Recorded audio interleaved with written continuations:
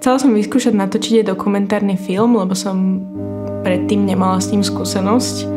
Chcela som, aby mi tá téma bola blízka. Nakoniec uh, som ako zaujímavosť našla najmenšiu obec na Slovensku, že je to taký kontrast s tou rušnou Bratislavou. Keď si vždy spomenieme pri tých hláškach na tie situácie, tak je to stále úsmevné a predpokladám, že to navždy bude. Prišla som na to, že počas točenia sa všetko veľakrát zmení a nemôžem sa stále držať nejaké mojej prvotnej predstavy, ale musím zobrať to, ako to je a pracovať s tým.